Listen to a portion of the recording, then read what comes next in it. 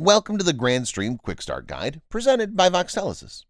In this video, we'll be demonstrating how to set up outbound routes in the GrandStream PBX. To begin, click on the Extension slash Trunk tab, then click on Outbound Routes from the dropdown. Click on Add.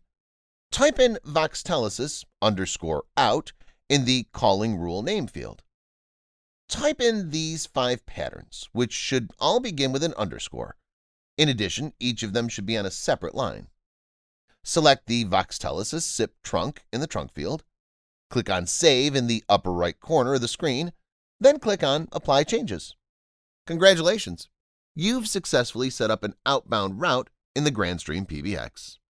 Check back for more videos on GrandStream, as well as other helpful guides.